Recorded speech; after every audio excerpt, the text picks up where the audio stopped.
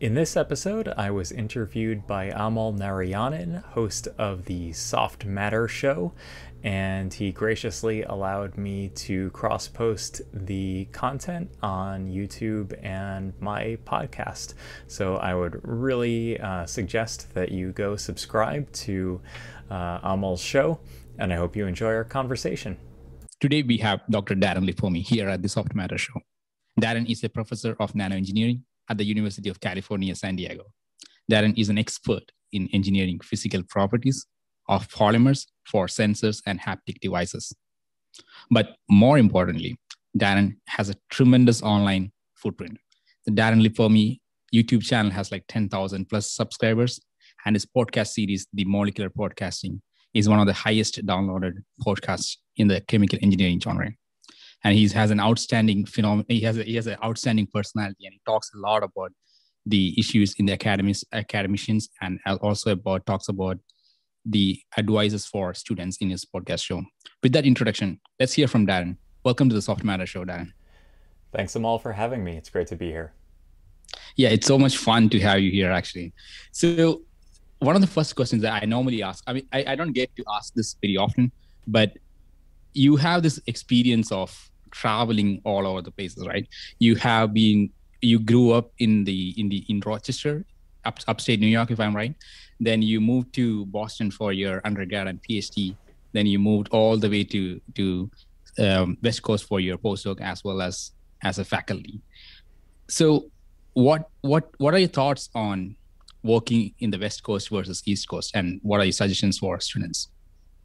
That's a big a big question that has uh, many uh, many answers. Um, so I grew up in a town called Hilton, which is northwest of the city of Rochester in western New York State. Uh, Hilton itself is uh, Rochester itself is very uh, very diverse. It has a, uh, strong history in the civil rights movement. So, for example, Susan B. Anthony and Frederick Douglass did a lot of their important work there, and they're actually buried at Mount Hope Cemetery, which is the first municipal cemetery in the United States. Uh, but Hilton itself, uh, 20, 25 minutes northwest, is um, is kind of like a small small town America. It's it has uh, cornfields in every direction. Um, it, I was uh, I was born there, though my family, you know, is is basically a, a Rochester family, but I was born and, and grew up in Hilton. Um, and uh, culturally, what I what I notice is that uh, despite the uh, the um, uh, homogeneity and the uh, the the Trumpiness of the uh, of the, the the space between big cities in America is uh, is uh, friendliness, and uh, you know it's hard to pay for the type of customer service that you get at a McDonald's or Starbucks or uh, or CVS in uh, in the in in small town America, and even in you know places that are that that you pay a lot more for customer service, you don't you don't really get it as as much. I can completely like understand that point. Actually, moving from Midwest to to New Jersey, I can see that complete difference. yeah, it's uh, it's it's unbelievable the way that the way that this works. Um, and then I moved to uh, to to Boston. So every every move I made, the um, the weather got a little bit better, so the weather's a little bit better in in Boston. Uh, the there's a kind of like a hard nosed, uh, hard working type attitude of uh, people in academia and administration in the Northeast. So I did my undergraduate degree at Boston University and my PhD at Harvard. Uh, then I I moved to uh, to Stanford, and in Northern California, it's a little bit uh, there, there's some aspects of the Northeast that are in uh, in the Bay Area. Um, there's a little bit of a hard driving culture, but not nearly as much. Uh, you didn't have as many uh, people working nights and weekends in the lab, and I'm not going to make a value judgment about that right now. It's just what I observed. Um, and then Southern California is um, is very uh, um, it's very relaxed, and that may be a euphemism uh, for for some maybe characteristics that make someone who grew up and did their schooling in a in the Northeast uh, feel like maybe they have a little bit of an advantage. so, in terms of the work culture, like when you're working in the lab, you, you said like there's more of a relaxed schedule uh, in the in the in the California side, like that's what you felt like. So, what do you think is a perfect style for an academician or a PhD student to follow? I think a little bit of it depends on the field. There are some uh, a uh, there are some fields where the lab and the library have a complementary um, relationship where the library is go is where you go to do research on knowledge that exists and the lab is where you go to collect knowledge uh, that that doesn't exist yet and you you uh, achieve it through experimentation there are some fields however that are so lab intensive. Um, organic synthetic chemistry is a good example where you really can't make any headway at all unless you're willing to put 10 to you know 13 hours a day. And it's not uh, it's not necessarily the uh, the, the the healthiest uh, field to be in in terms of work life balance but it, there there are huge differences in the amount of time that it actually takes to to get something out of the lab. So I would say that like um, there are some labs, some some types of workflows where the uh, where the the relaxed uh, uh, attitude lends itself better, is more consistent uh, with that type of attitude. And I think um, I think the field of um, you know some amount of device work and some uh, some you know, laboratory intensive experimentation, but not to the extent of organic synthesis is something that maybe works well in SoCal, uh, whereas in the Northeast, maybe uh, maybe the more lab intensive things are, are more uh, congruent with the culture there. And this is stuff I haven't focus group tested. i am speaking these words for the for the, the, the, first time, and I hope you don't get a lot of uh, Twitter rage for for having said that. But that's just my observation. I think I think I mean I, I asked this question in my previous guests uh, guests as well, like Niels Holten. He was he was a UCSB PhD student, then he moved to Chicago. Then he, he's working right now at MIT. So he has like the similar philosophy that you were talking about uh, when he worked, you know, across the country. That that is exciting. That there's a commonality between the opinions of two different people. So yeah, I'm taking my data points from random places. Yeah, I think I think the fields that that I would most like to work in are those that allow work-life balance, right? So so where you are treating the lab like the library, except you're going to go in there for targeted purposes to get the information that you need. Yeah, that's perfect. So, since you brought up the topic of organic chemistry, like I, I'm, I know I'm aware that you started your research as a synthetic organic chemist, right? So, how did you inspire yourself to transform your career from a chemist to a electronics engineer? I would say. Uh, how, how do you think? How how did you make that transition? I think there are a couple of vectors along which one might optimize their career trajectory. One is what are you good at, and what what can, what gets you what are the what are the problems where you go into or what are the topics where you go into a class and you're you feel good at it? The you you're maybe toward the the higher end of the grade distribution in the class. You have a lot of passion for the material. Maybe you've never heard of it before you took the class but you kind of like it. For me organic chemistry was was like that. I didn't know anything about it before i took it but i felt like i could personify functional groups and atoms and molecules and intermolecular forces and synthetic steps. I like the puzzle as the puzzle building aspect of it. Um, it was a very straightforward type of a problem for me to solve. I like the forensic aspect of it too. So you have some colorless oil and how do you know the structure of it if it has a molecular weight of 300 grams per mole? You know, some combination of NMR and IR and mass spectrometry allow you to, to deduce, deduce the structure. I liked all that, but it didn't. It, that wasn't the problem that got me out of bed in the morning, which was more like um, energy applications or um, uh, or human machine interfaces, and not even so much human machine interfaces, but rather uh, rather uh, human perception and cognition in ways that could be probed by materials and engineering uh, phenomena. So, but I didn't have any expertise in that. So when I think when I thought of energy, I thought of or clean energy, I thought of windmills and nuclear power and solar cells that are made from inorganic semiconductors that that you know involve quantum phenomena and solid state uh, material science, solid state physics that I, I don't have the background in, and frankly, I don't have the adeptness for. There are a lot of people out there that are better at that stuff than I am, but I got pretty good at organic synthesis as an undergraduate. Um, I had two first author papers in my undergraduate lab in like straight up organic synthesis, and then I thought, okay, that's going to be my ticket into this these other problems that I that get me out of bed. like I don't I don't think about synthetic problems. I think about synthesis as a tool that I can use to uh, to make progress in these other fields that really have a deep spiritual uh, connection uh, in uh, in in me. Yeah, I think that's a very good point because if you think about it, like there are there would be like an undergrad student like sitting in the sitting in the lab or sitting in the office and thinking that okay, I want to work on something very cool.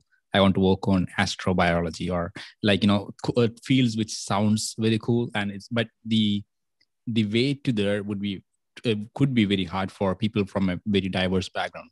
So I think yeah, the point you are making is that you try to to learn something and you get the routine of working and get better at it. Once you get that opportunity, then you can transform yourself to the field that you could contribute to and the one which can get you out of your bed. Which is an excellent point that you're making. Yeah.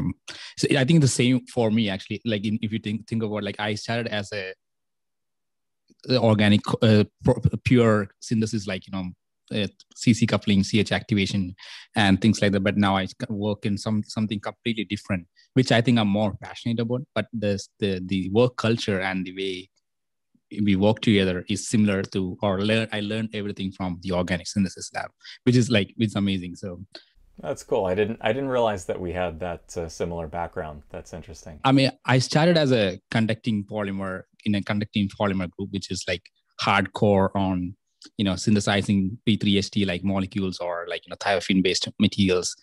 But yeah, now it changed a lot, and I don't think I can go back and redo that. But I still have the the work culture which I learned from there, which I think helps me even in the in this current situations even though I'm working on very extremely different things. Yeah, that's cool. So, so since we are talking we are talking about the human machine interface, and I think this is a perfect time to to learn more about what you actually do in the lab.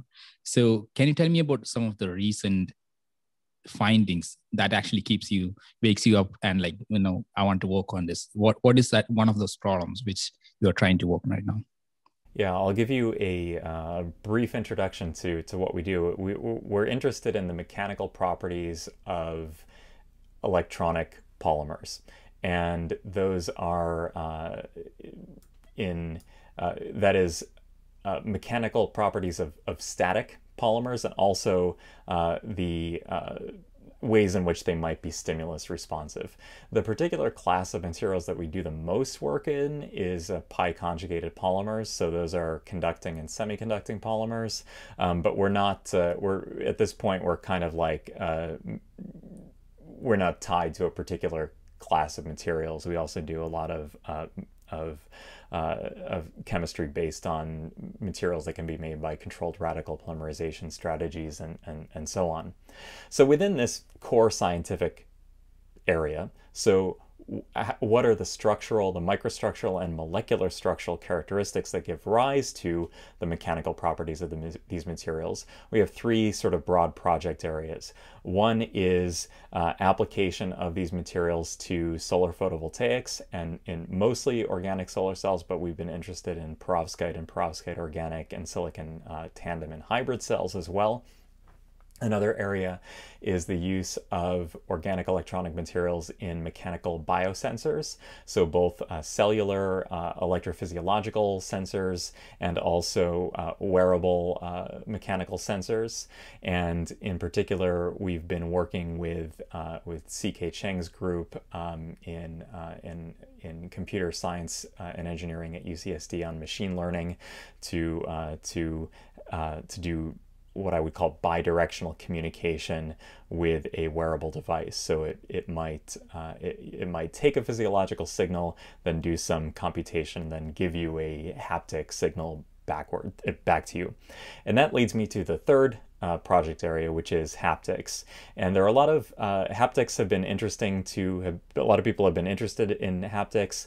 Um, it is uh, you know, for for listeners who who might not be aware, it's basically the uh, the use of of technologies to manipulate the sense of touch um, and to produce new tactile sensations. So there's really a lack of of uh, haptic sensations available in off-the-shelf materials. So what we're trying to do is uh, is access types of tactile sensations like moisture, tack, uh, thermal conductivity, uh, near surface texture, near surface softness that are really difficult to recapitulate using off the shelf actuators that just depress into the skin.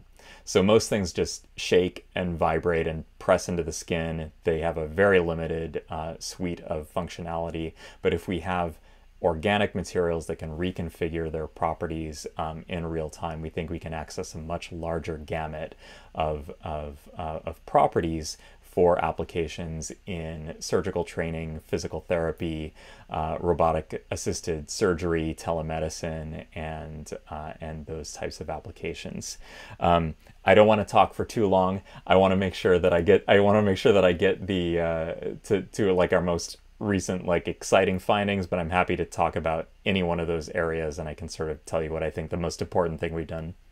Yeah, the the the amount of time you spent on that three sections, I can feel that the haptics is some part you can you are like very much more passionate about in pursuing in the future. So my question would be like what are your goals in terms of haptics? Like, you know, when would you be like happy, okay, this is what I wanted to do. This is what I I did so when would that what what would that be? What would that achievement would be when you would be like oh, yeah this is a this is a significant contribution that i have done i'm interested in materials approaches to haptics in both the the basic scientific uh, uh, sense to understand more about human perception and and uh, and cognition but and and also the forward facing direction of being able to develop new haptics technologies. Now of course you can't do the latter without the former. And uh, we we and, and this probably leads to one of the more significant scientific discoveries that my lab uh, has made. Um, for example, we showed that it is possible for uh, for human participants to differentiate surfaces based on surface energy differences uh, created by molecular monolayers. Um, uh, in a later uh, paper, we showed that uh, that the sense of softness that one feels in a uh, in a solid material can be manipulated by the uh, by the porosity and the indentation depth of the material, and not in really an obvious way. In fact, the more porous the surface, if you keep the indentation depth uh, constant, the harder it actually feels, which is kind of counterintuitive. Um, and in particular, the features of the porosity are actually smaller than the spacing between mechanoreceptors and the skin, which suggests some type of of hyperacuity or like super resolution in the uh, in the, the fingertip. And so that's uh, that hadn't been shown before. I think it would be would have been hard to uh, to show without uh, without the lab's expertise in uh, in microfabrication. And we had a um, an outstanding postdoc, Charles Dhong, who's now an assistant professor at uh, University of Delaware in material science, um, who, who really brought the, this project uh, forward. Um, and that's uh, that's the type of fundamental contribution I would like to make to human perception. So that was softness, but you can imagine that there are other types of uh, of transitive properties that exist on these one-dimensional axes where you can dial in. So we showed it was possible to dial in the sense of surface softness. So this is the contact area and indentation depth that you need to uh, to to to have a material that occupies some position on this softness number line.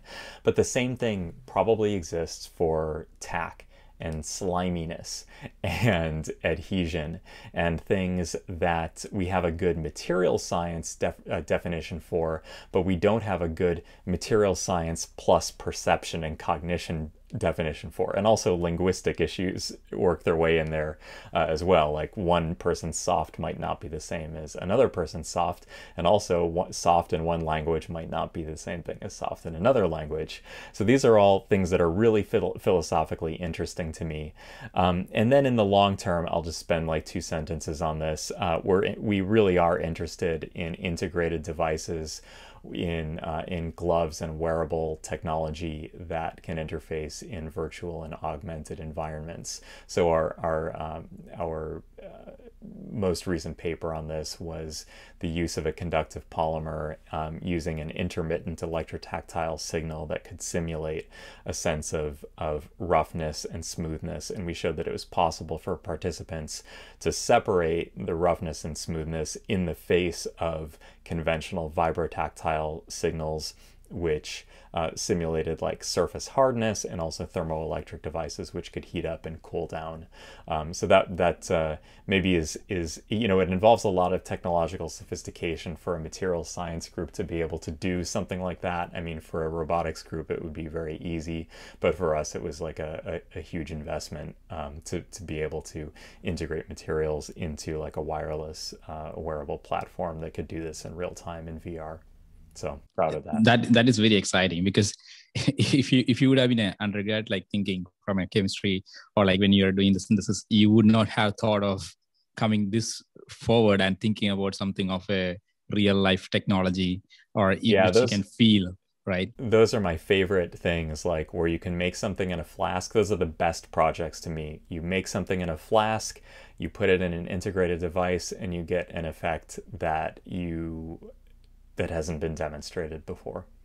Yeah, and one thing I mean, just like I'm making it up probably. So if you can, if you can find a way to have a haptic device for NMR, so if you just touch and find out what the what the product is, that would be fun too.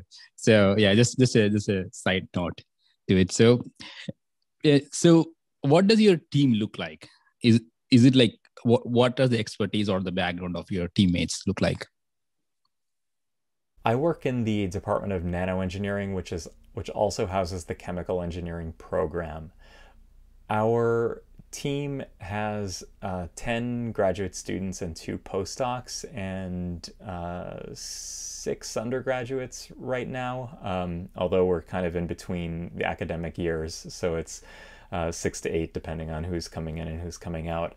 Um, and I think seven of the 10 PhD students are chemical engineers, and then um, uh, maybe maybe six six of the 10 are chemical engineers, two are nano engineers, and uh, we have an electrical engineer and a material science uh, student okay, those numbers are wrong, but it's about it's about that. Two two electrical engineers, one material. Yeah, it's uh, where where do the years go? It's half chemical engineering, uh, you know, twenty percent nano, and then some amount electrical engineering and material science. And then between the the postdocs are both chemists, and the reason is uh, is because it's hard to get uh, chemistry grad students, and it's hard to more it's more that it's hard to give them the training that they deserve because my knowledge of the organic synthetic literature is now like 15 years old and i am not going to be a good mentor in Stille and Suzuki cross coupling anymore. Um, I can help like does I can help a postdoc with their project, particularly in like structure property relationships, but in terms of on the ground advice, I can't really do it. So, um, so or I can't do a good job doing it. So that's why the the postdoc positions go to synthetic chemists. So when hiring uh, these students or postdocs, what are the things that you look for in terms of a PhDs and postdoc candidates? I look for curiosity first and foremost. I think it, you can't be in science professionally without like an intense sense of curiosity and wanting to know how things work. And that is in contrast to an application that I get uh, mostly on the undergraduate side that is, I want to do this for a line in my CV and so that my job application looks more attractive.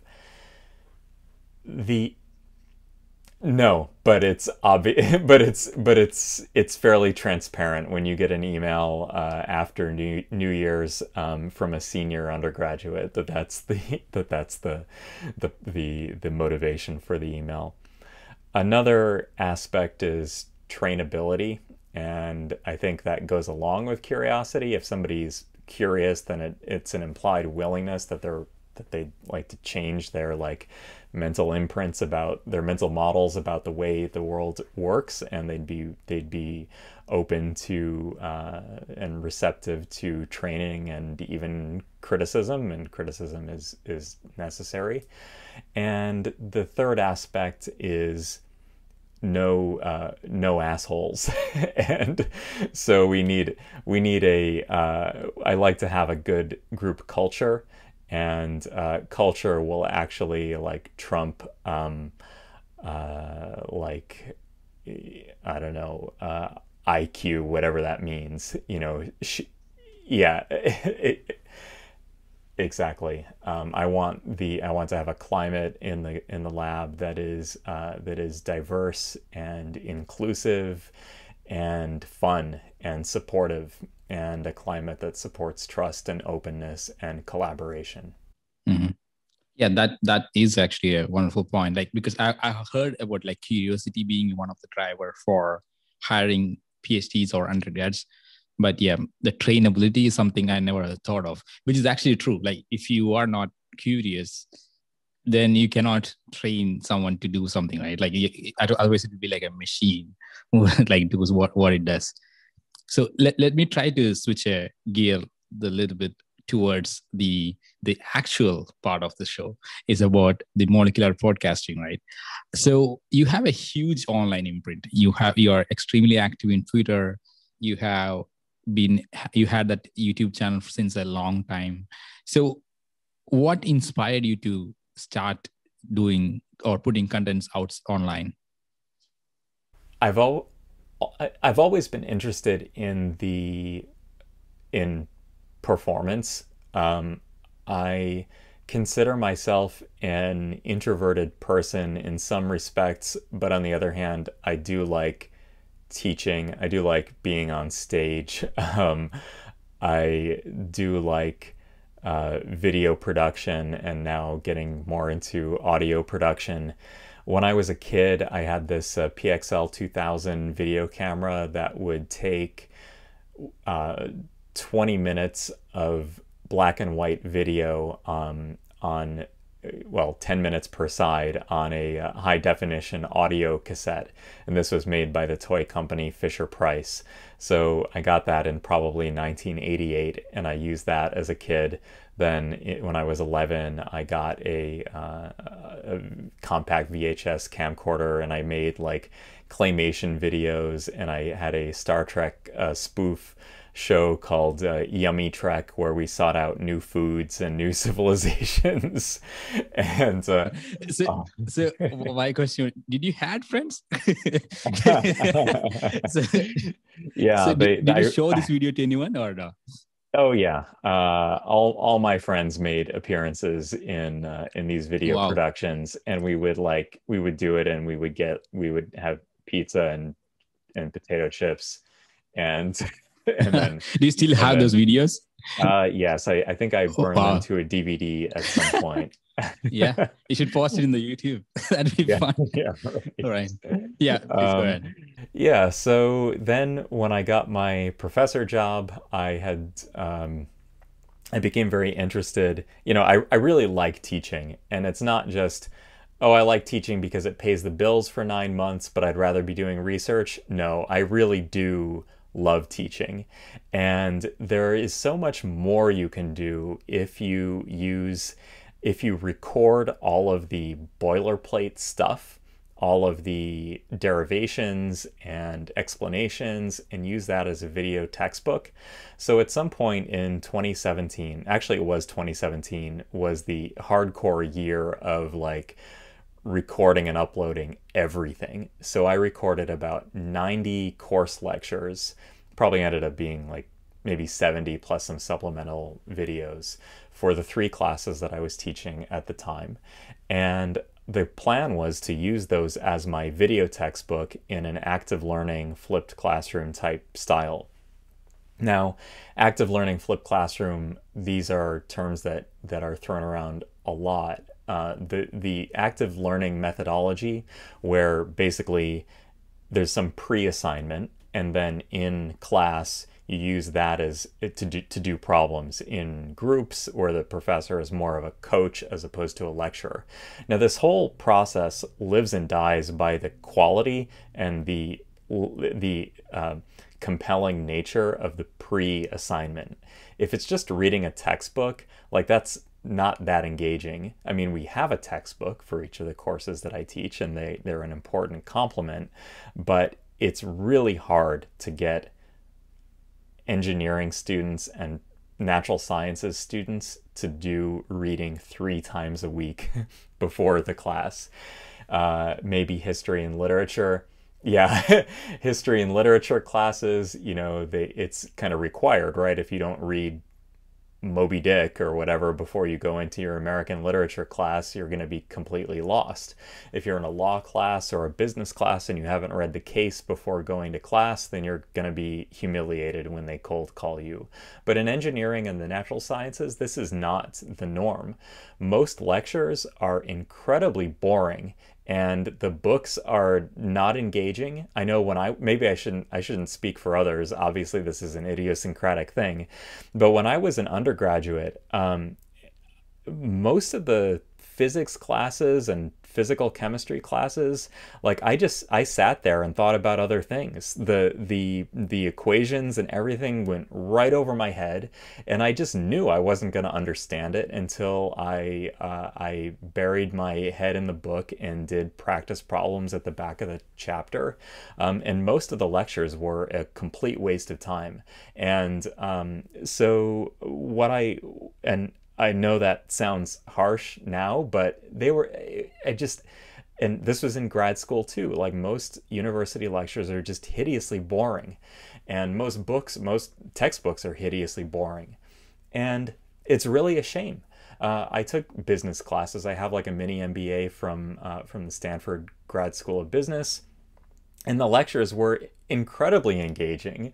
And this is how education should be. And a lot of these classes, especially in finance or accounting, it's not as though they're not quantitative. Like it does, it, it takes a lot of like effort to to learn this stuff and it engages many parts of your of your brain and it's taught in a completely different way and it's better it's much better uh, it's like entertaining to to like i would take an mba i would do an mba like in a second if i had time just because of how much fun it, it, would be um, so, how do you do the same thing in engineering? Um, you have pre material that's actually interesting and fun.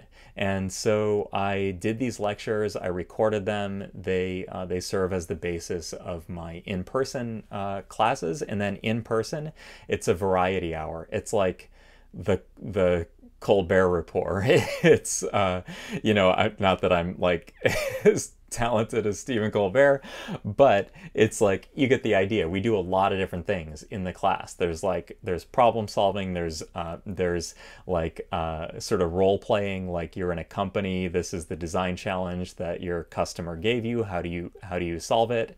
Um, we do. Uh, it's it's allowed me to rethink assessment. So um, so. Uh, you know, have more frequent contacts with the material and do more frequent quizzes and know more of this like two midterms and a final. And it's like, you know, 25, 25, 50% of your grade. And, uh, and you don't really get that much of a chance to engage. You only really study three times per semester, um, and you know we don't we don't do that. We um, we we break it up. We try to have like an immersive experience, and it's really only possible because of of YouTube. I I also um, well YouTube video podcasting, uh, electronic resources. And you were asking about podcasting. I went off on this. No, no, no. I, I actually teaching. want to have a follow up on that actually. so, how did that inherent need came to you? Like, I mean, this has been done. Like, you know, the way YouTube has been here for like what, like 20, 15 years, I would say. But nobody has thought about this because every day the, the teachers or the professors are creating content it but it never comes online. Like if you look for polymer chemistry or polymer physics uh, lectures you you probably you are the first one shows up. There was never any other people who tried to attempted to do this. So why this inherent curiosity to do this came to you did, did have you ever thought of that yeah, it's. I guess I would develop the my you know my earlier point in a, in sort of a different way.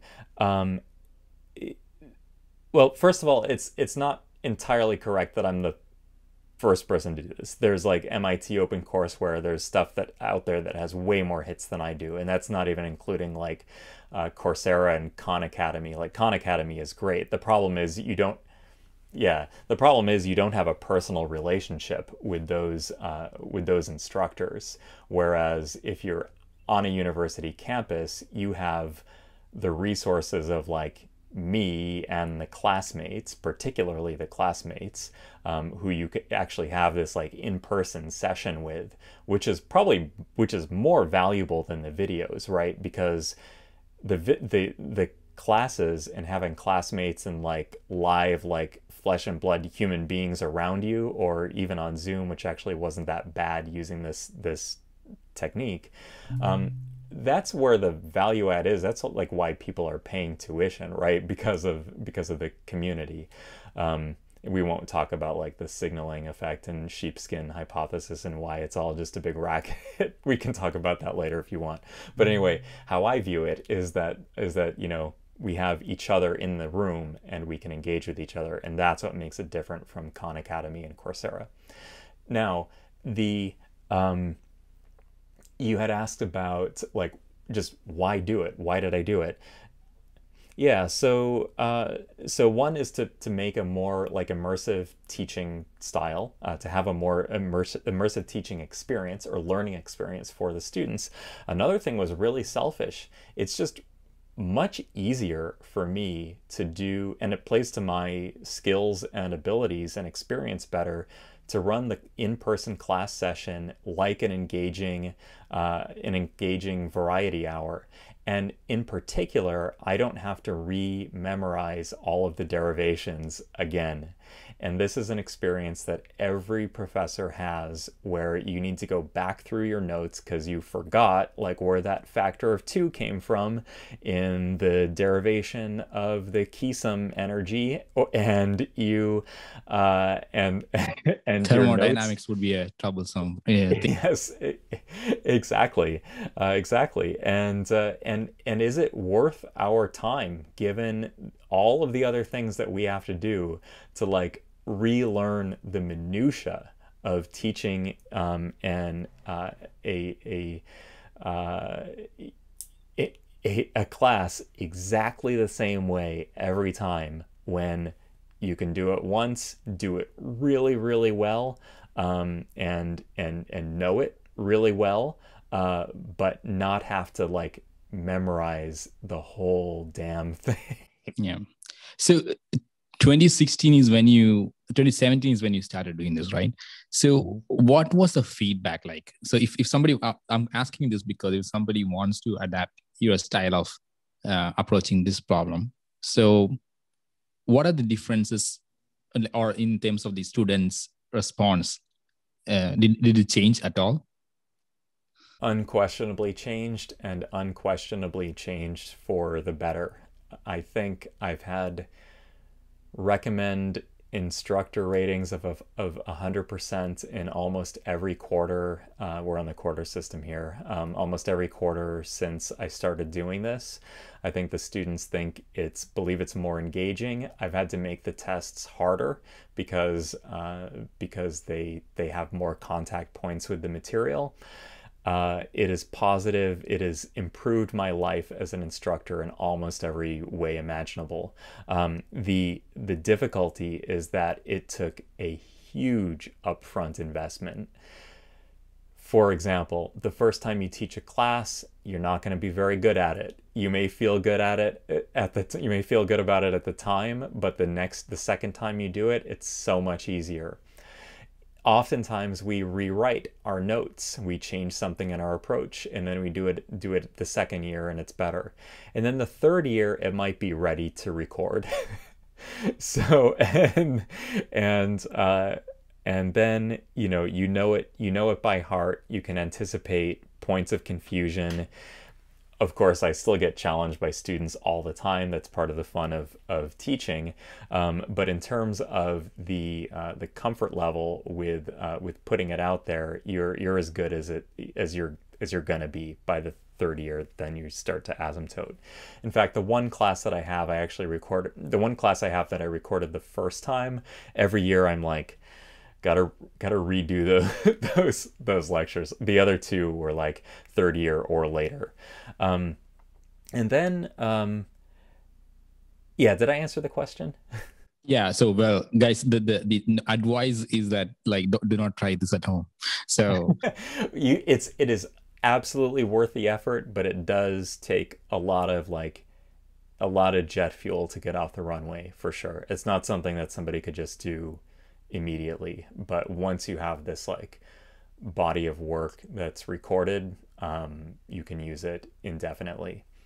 Um, and the podcast actually started as a as an offshoot. So also in 20 well in 2016, I became the uh, the faculty coordinator for a graduate and postdoc seminar series, and that was run by the IDEA Center at the Jacobs School of Engineering. Just to give a shout out, IDEA's Inclusion, Diversity, Excellence, and Achievement, and it's the Student Services Center in the Engineering School. So I was the faculty coordinator of this this lecture series, and there were a variety of professional topics. They happened uh, six times per quarter, so 18 times per year, and I would get a speaker from industry or academia or law or government. Um, and they would speak about a topic. A lot of times there were requests for topics that where I couldn't find a speaker or the speaker canceled. So I would do my best to give those talks and I would spend maybe a week uh, of preparation, you know, not not uh, not 40 hours, but uh, but maybe 15, 20 hours sometimes, like preparing these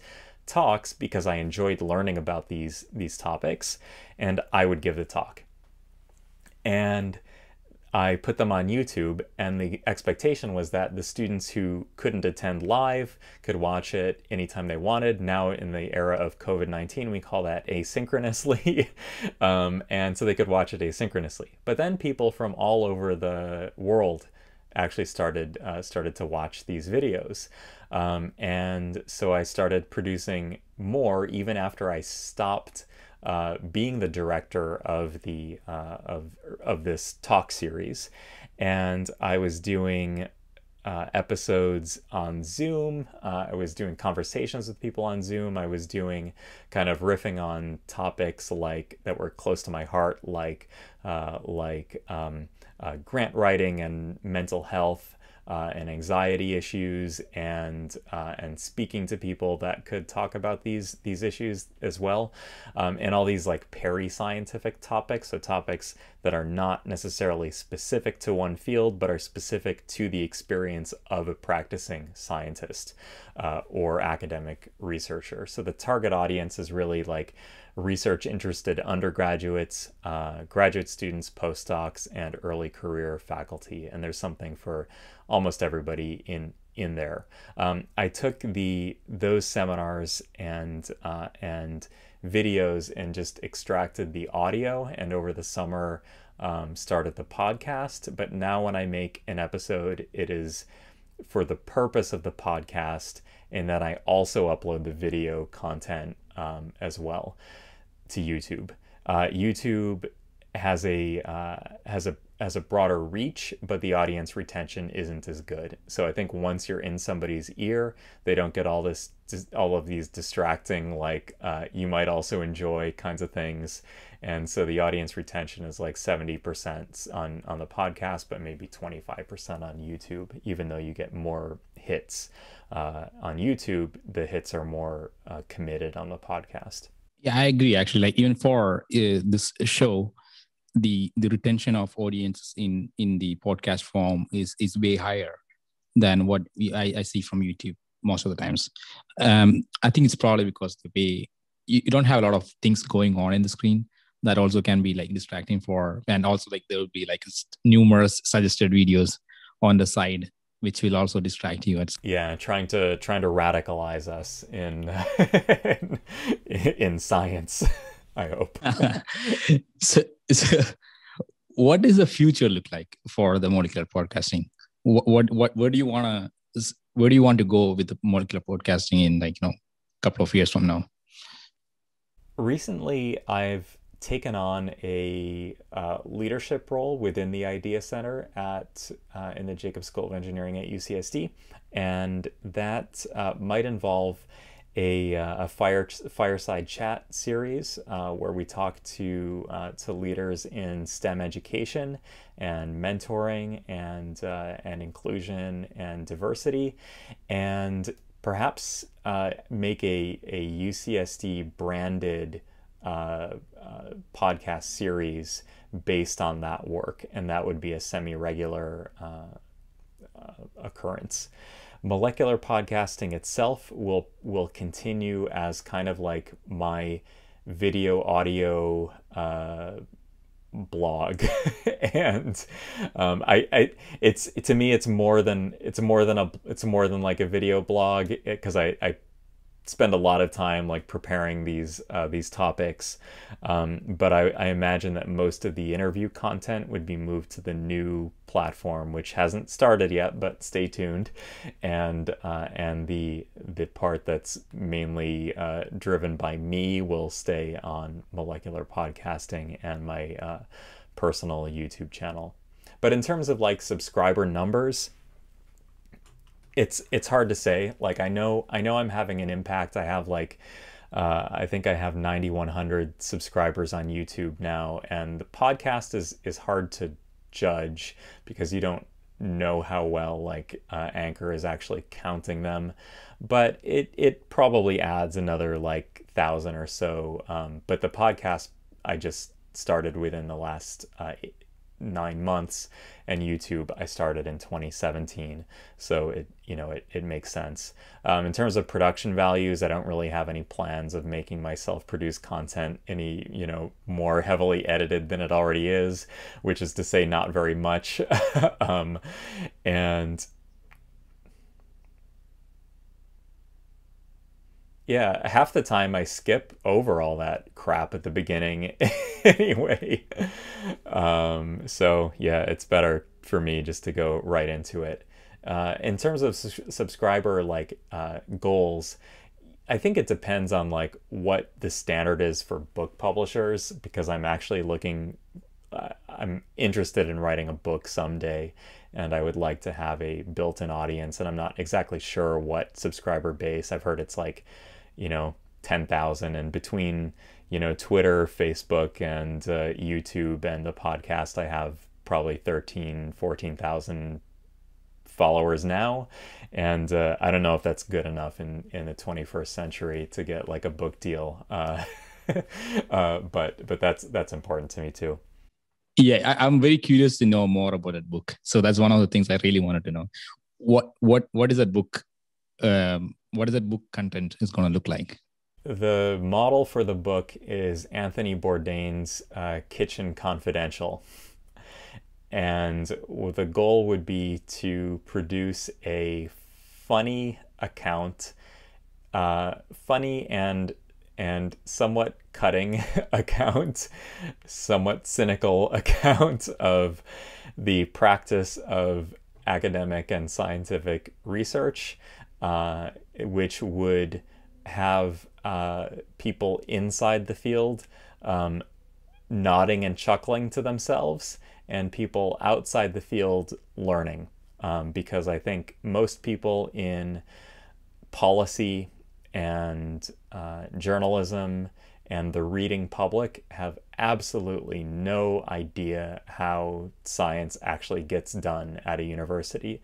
Like, where did the Moderna vaccine come? Where did the BioNTech, um, uh, Oxford, BioNTech and Oxford vaccines come from? They didn't just appear out of nowhere and where are solar panels coming from? Where is that lab grown meat coming from? And uh, I think it's it's worthwhile for people to have an unvarnished view of where where science gets done, who is doing it, who gets credit for doing it, who's paying for it, what the quality of life is like for people doing those jobs, and also to intersperse it with uh, personal anecdotes about you know from a uh, from a, a, a, nerdy introverted kid who ended up somehow at Harvard and Stanford and having a podcast that somehow I'm grateful to, you know, I'm somehow people listen to and find find interesting and I'm grateful for that. I'm sure that that is extremely useful because if you think about the the, the in the era of fake news, so we should be having a healthy discussion on how things gets done in in a from a science point of view and as well as the engineering point of view to see what it takes to get to the right place. And and teaching someone to think logically is one of the duties that i believe that academicians have to the next generations. Yeah so but my next question comes to this. So you have you're a pi who writes grants you who writes who mentors students who in the sits in the panel of many many um, academically relevant committees. And you host a podcast you have a youtube channel. How do you manage your time? Like what, what does a typical day look like for you? Typical productive day look like for you. You don't want to be a sloppy scientist.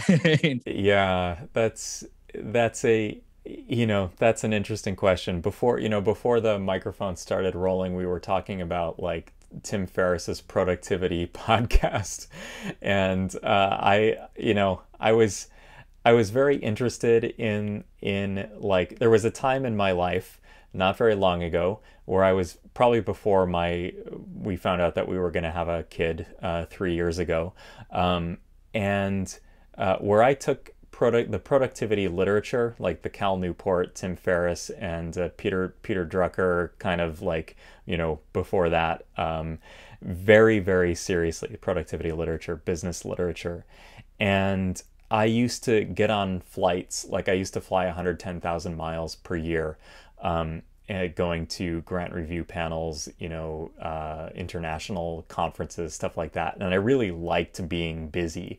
Like, I really liked feeling important.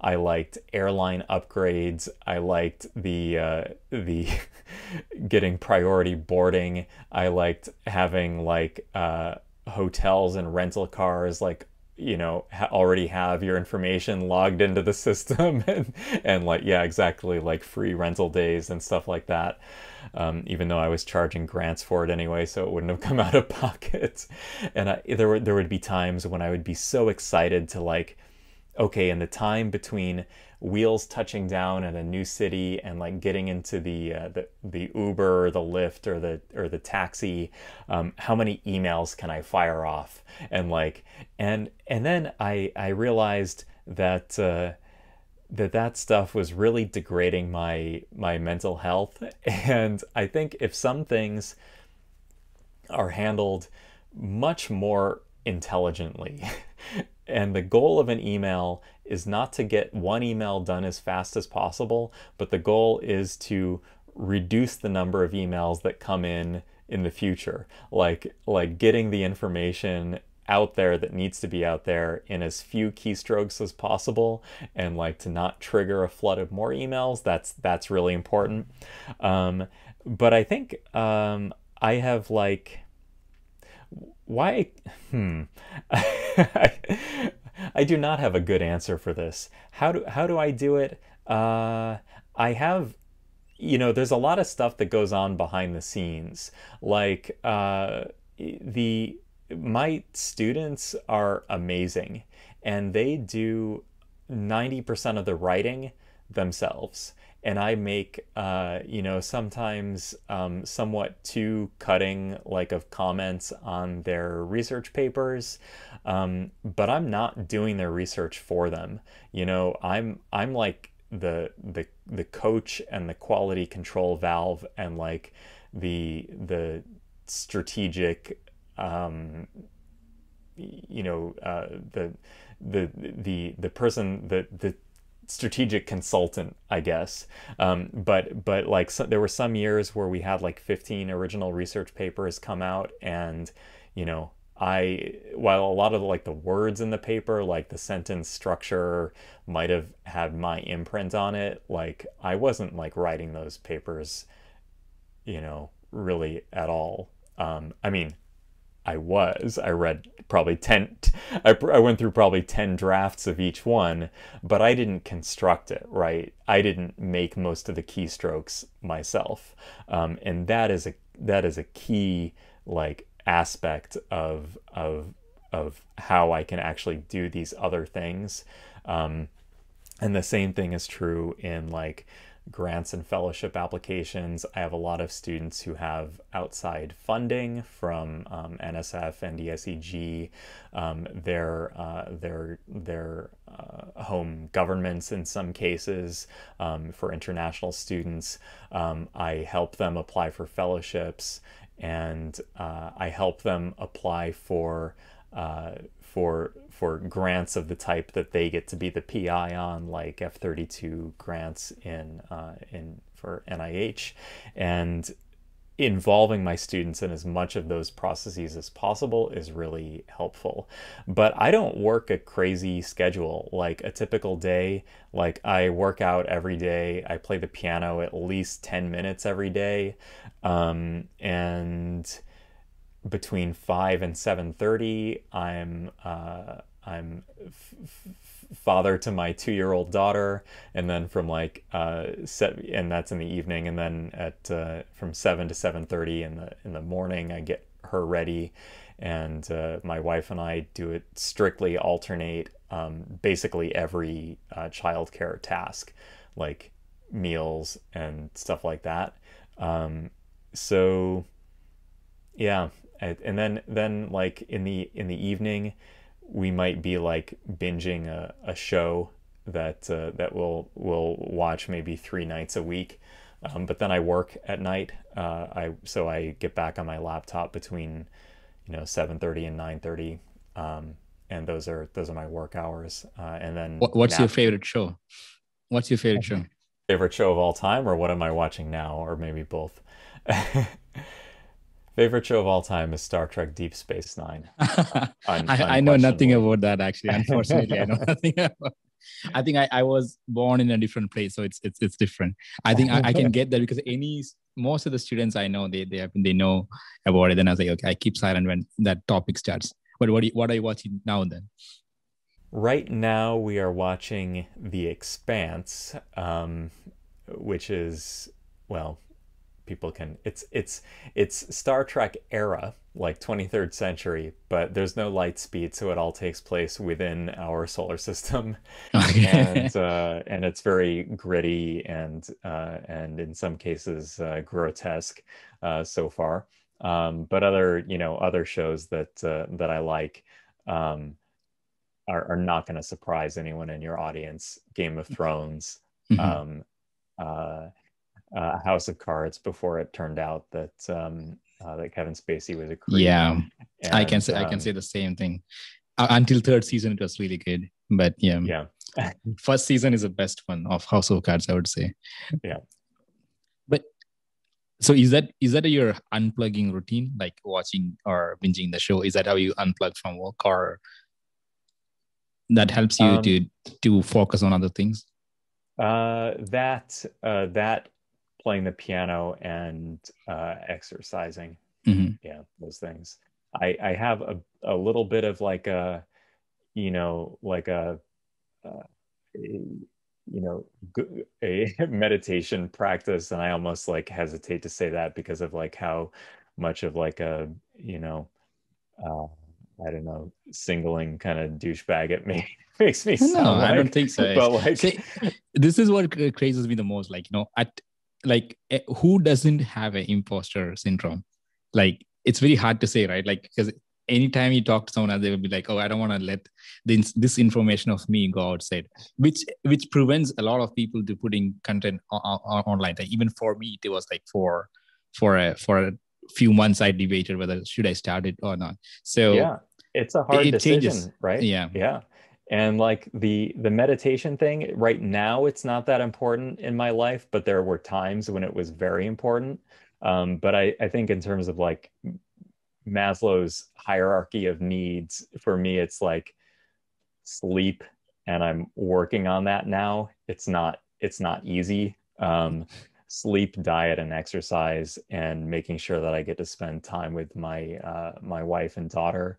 And then when those things are are satisfied, and uh, and I and then I I do more like mindful practice. And I don't mean to disparage the uh, the practice at all because I've been doing it with you know somewhat regularly uh, for uh, for for six years. But there's definitely like what uh, what white dude with a podcast doesn't meditate, and uh, and I I kind of regret that uh, that association. And I it's sort of like Dave Matthews Band in the 1990s. Like I couldn't admit to liking it because I resented the the fans. But now you know I like Dave Matthews Band and I meditate a couple times a week. yeah that, that's good to know i mean many people will have the time to you know they would not be able to admit something like that but yeah you are being very brave Yeah, we call that there. uh, they call that toxic mas- masculinity, right? Where you can't is uh, you can't admit the uh, the and you are in the perfect to to other people, and yeah, and, and you're in the perfect position as well like you are in california as well that adds up a lot more stereotypes to to the meditation aspect of it That that's right. We have the beach. I I meditate on the beach during my run. Yeah, there there we go. wow that was a surprise to me all right so uh, let me ask you this what are your suggestions for the next upcoming scientist who wants to to start an academic job what are your advices for them my um there was a there there was a TV show. Um, I don't know if it's still on. It was uh, it might be still on. Uh, Good Eats by Alton Brown, and he uh, he's also prominent in other aspect other shows on the Food Network. Uh, but he was um, he had other jobs in his life, and he was kind of like disappointed and underwhelmed by the quality of cooking TV shows. And he said, I could do this way, way better. And one time I saw a, an interview with him, um, probably in like 2007, on a CNBC show called The Big Idea with Donny Deutsch, who's an advertising executive. And he and and Donny Deutsch asked uh, Alton Brown, "How did you, you know, how did you know that you wanted to do this?" And he he gave his his story, and he's like, "Yeah, but he probed deeper. How did how did you know that you were going to be the one to do this?" And he said, "Whenever you do something where you put yourself out there in front of people, and that could be in uh, publications, the lecture hall, grant proposal writing." you are selling yourself as a product and you have to have a sober assessment of where your skills line up against other people's and make sure and now i'm using my words but captures alton brown's sentiment that you are using the sharpest arrows in your quiver and not trying to be second best at somebody else's game. So even if you don't perceive there to be a field in the at the nexus of what you're good at and what you want to contribute to, try to make that field. like try to try to exploit what you're good at, um, which may not be like what you're passionate about, but but figure out like where your skills line up and try to figure out a way to apply what you're good at to what you're passionate about in the highly likely case where what you're good at and what you're passionate about are not the same thing because eventually like if you're if you're good at it you will become you know passionate about it so like you said earlier um, my the current directions of my research lab like we're we still have a, lots of activity in mechanical properties of organic semiconductors and mechanical biosensors but like kind of this out there pie in the sky thing is in haptics. But but when i the papers that i'm most excited to review and the grant proposals i'm most excited to review are definitely on mechanical properties of semiconducting polymers and structure property relationships and like physical organic studies of these materials because even though when I was an undergraduate, I didn't know what a conjugated polymer was, I certainly didn't know that I would be interested in mechanical properties. It's just what what I'm good at now, what I'm like, what I feel like I have a uh, an advantage in compared to other people in the field, and that's what I what I feel good about the about about doing. Yeah, that's an excellent piece of advice for budding scientists. One of the things I think I learned from that is like you what you need to know is that you need to know yourself. To to use that like to understand your skill set you need to take the time off or like to find out what you're good at. Then you have to apply yeah. yourself towards something which would be more useful there's right. another professor that has a podcast. His name is Tyler Cowen. He's at George mm-hmm. Mason University and has a podcast, Conversations with Tyler. I actually interviewed him on molecular podcasting. He was my highest profile guest, but he calls what you're talking about metacognition. Um, applied, wow. you know, meta. So uh, where where you know your own skills and you know where to push on your, uh, you know, where what the sharpest arrows in your quiver are and uh, how to apply them to problems so that you can make a difference as opposed to banging your head against the wall competing with people that are better at you know whatever at you. There will always be something that you are best at and that might be at the intersection between a few different uh, areas. Yeah that brings out to me to the last question. You one of your podcasts you mentioned that you like to cook posto. How did that happen I've always liked working with my hands, and I used to. Uh, some of my fondest memories from like childhood, but this is like later childhood, I would say 11, 12, or it would be like baking from this uh, this destroyed version of Betty Crocker's like handbook that we called Dad's Grail Diary. It was my mom's cookbook, but we called it Dad's Grail Diary as uh, in reference to Indiana Jones and the Last Crusade, where the diary is this uh, this uh, this item that changes hands between the heroes and the Nazis throughout the movie. But I would make like recipes from that cookbook and they all i'm sure turned out like they were tasty because they had sugar and butter in them but you know they what can they probably probably were not that they're probably not that good. But then uh, i got really into cooking um, in grad school. Uh, i a lot a lot of what i uh, what i cook is um, like where most of the the flavor is is in South Asia and Central America, and so that's, I that's I, such a combination.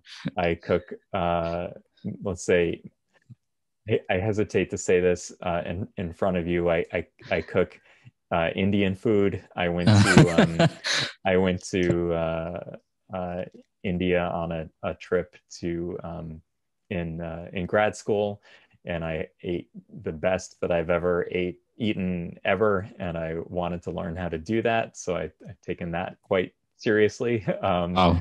And uh, and I make a lot of like Mexican inspired uh, food, but just like at home, you know. wow. Yeah, that's fun to know actually. Like because I was very curious because I I did my undergrad in in West Bengal where posto is a real thing. Like people love posto. I mean, I had a previous roommate who loves cooking posto, but then I when I listened to your podcast and when I heard posto, I was like, oh, you are also really into this. That because it's not an easy thing to make. It, it it's very simple, right? It has a lot. It has literally nothing. That's make that makes it even harder to make it. So when you have like in, in Indian food, you just throw in t- a ton of masala, and some most of the times it will taste good. But when yeah. you don't have the masala, then it's a problem. Like you know, when when there's less less spice involved, then it's a problem to cook. so somebody somebody asked me in a, in my class the other day, um, do you wish that you could go into the lab more? And I said, uh, not really for a number of reasons like opportunity cost i don't know where stuff is i'll break stuff um, i probably should be spending my time like writing grants and paying for my students who actually know how to do experiments whereas i like haven't done stuff in a long time um, but then but i get that fix of working with my hands in other ways in my life so like the ideal saturday for me is going either to home depot or to the international grocery store so we have a we have a great like um, uh, indian supermarket close to our house where you can get things like uh, like lupa and oh, wow. uh, bitter gourd and drumsticks and just awesome like produce that's inexpensive and the staff is really knowledgeable and they have every whole spice and ground spice and every kind of rice you could possibly imagine and yogurt that comes in gallon yeah that's fun yeah i mean i'm also surprised that i mean when i was in ohio then when I go to the Indian store, I don't get a lot of things what, what I want. But here now I'm in New Jersey, was like almost the capital of India. So where I go and to the Indian store and I get everything I need, whatever I, I can get from India. So yeah, let, let, let me know when you go next time to to South India. I can ask my parents to host you.